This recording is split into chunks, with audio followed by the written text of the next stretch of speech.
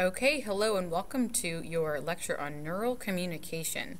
Uh, so some big words there, but basically we're talking about, later we're, we're going to look at how our brain communicates with our body, um, but we're going to look on it at, a, at a, a, smaller scale today. So neural, meaning having to do with neurons, nerves, anything have to do with communication in the brain, and the communication, how our body talks to our brain, and how within our brain there's communication between different parts.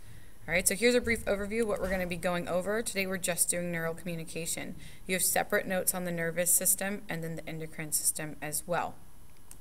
Uh, so this is going back to one of the perspectives of psychology. Remember that three chart that has like the biological, um, the psychological, and the social? This is looking at the three and how they connect within the brain. So I really want you guys to keep this kind of overarching question above of like how does my bio biological brain interact with the psych so the thought process thinking feelings and then socially? So how do all three of those things connect uh, to make um, the study of behavior and people?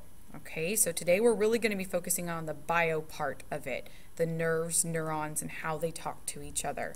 So we need to start out with what a basic neuron is. A neuron is a cell. It's a specialized cell. So just like you have like a muscle cell, how you have skin cells, different types of cells, a neuron is a cell um, that has a very specific job and task and it looks a lot different than some cells that you're probably used to seeing in biology with that classic like round shape or a plant cell with its square shape. So a neuron is a specialized cell. There are three different types. We briefly talked about interneurons in reflexes, looking at the spinal cord and how, remember, interneurons are those ones that talk in between.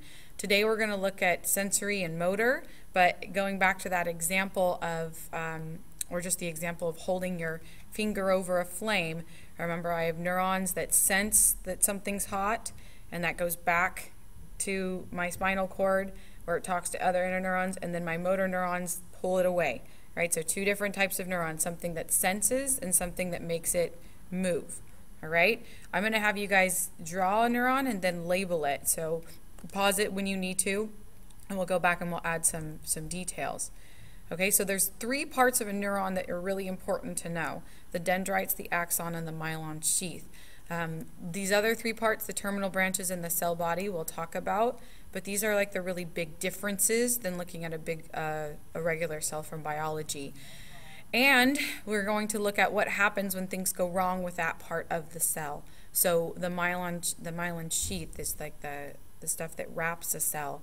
And if you're familiar, we'll talk about later, but you, if you're familiar with multiple sclerosis, um, that's really when that starts breaking down and there's lots of like shaking. So there's not um, there's not good communication between cells. Okay, so let's take out our, um, our sheet on a neuron and I want you to uh, label the different parts. So this is a neuron. Remember, this is a cell. Looks very different from a cell that you've looked at before. Okay, but there's some things that kind of look the same. So if you look in here, right, this is the cell body. Like that's like the, the middle there. That's like the nucleus that has the DNA in it. But these branches and this long tail with more branches make it look very different. I also want you to look at the um, how it's elongated. So it's a long cell because neurons connect to each other this way. Right, I'm looking at, think of like an electric cord as it goes down from like cell to cell to cell. All right, so let's first talk about these dendrites, so the dendritic trees. These are the ones over here. These are the ones that receive information from other cells. So remember, I want you to think about the neurons. Class is starting the neurons are connected one after each other. Okay, so from this this way, this way. And then those dendrites are the ones that connect to the one before it. So they're the ones that are for receiving messages. Dendritic trees or dendrites are responsible for taking in messages. All right. They then go travel, these messages go through the axon. This is kind of like that long cord or the tail. And it passes the messages along here. Here's my cell body. It goes all the way through here. And then it's going to end over here in my terminal buttons. All right, so it says passes messages away from cell body to other neurons, or these might end on a muscle or a gland. So they're acting directly on a muscle or a gland. This is the myelin sheath that we talked about. It insulates my axon. So think about like wrapping something around an electric, so you have that electric cord and the, the rubber that you find like wrapped around it, that would be like almost like a myelin sheath. It's an insulator and it helps speed up how fast I can send messages to another cell. All right, it's really making it go really fast because it's wrapped in. It's making it very efficient. So that neural impulse or the message goes along during an action potential.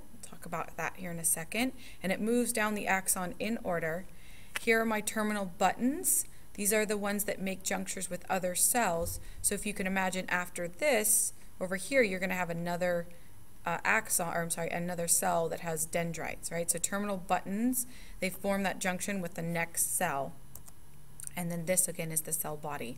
This is like the classic cell that you're used to from biology with my DNA in the middle and all the organelles in there, okay? All right, so let's talk about the speed of neurons.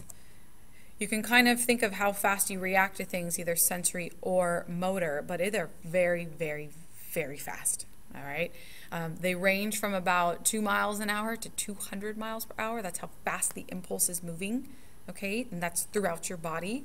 And we measure them in milliseconds. So we can actually measure how long it takes a reflex to occur, how fast it takes or it takes for a, an impulse to move along. So we measure those in the thousands of seconds. So think about how fast that is. All right, so 2 to 200 miles per hour, very fast.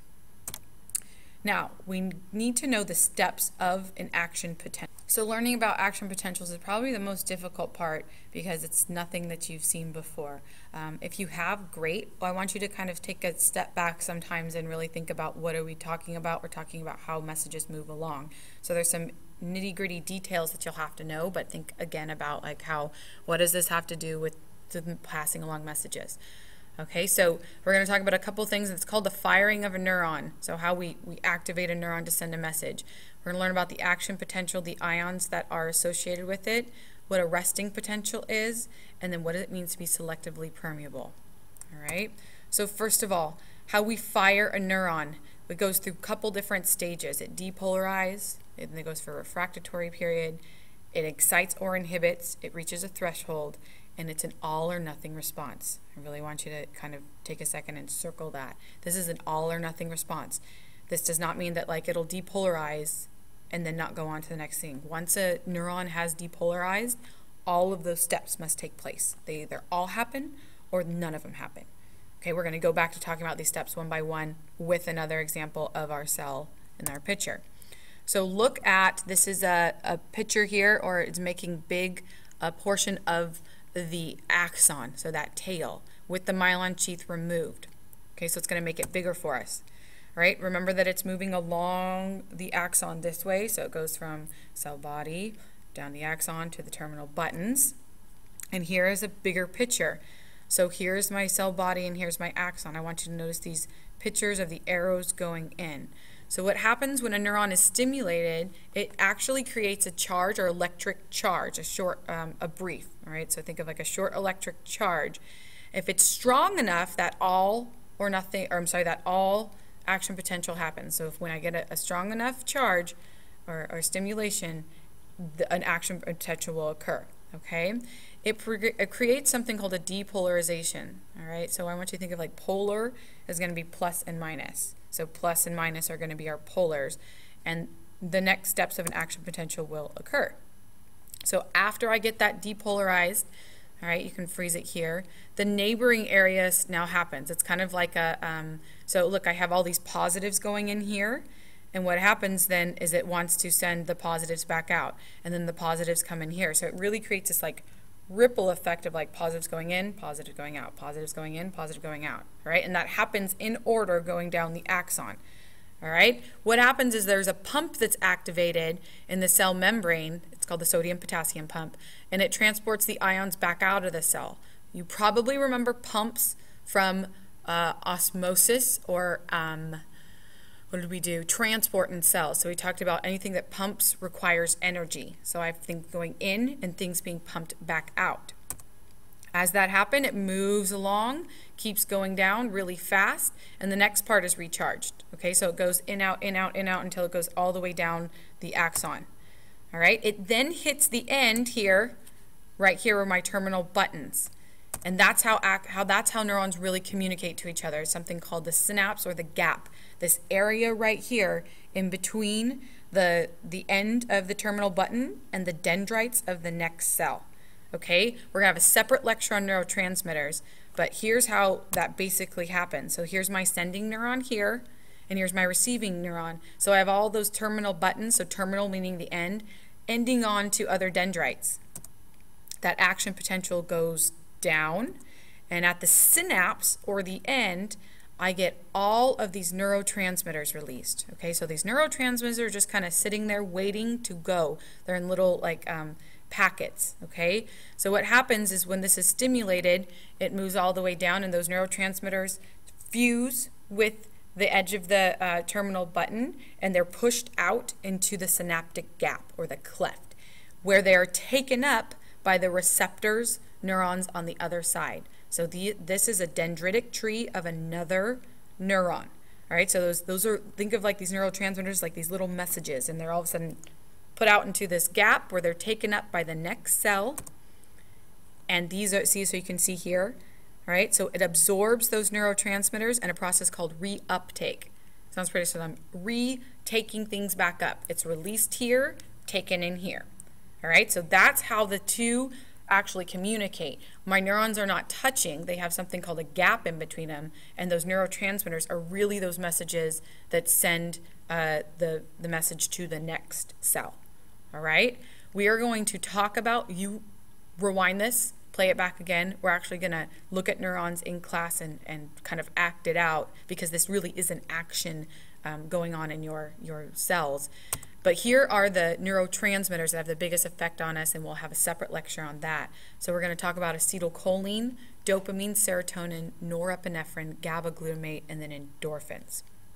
Bring any questions you have to class, and I'll see you later.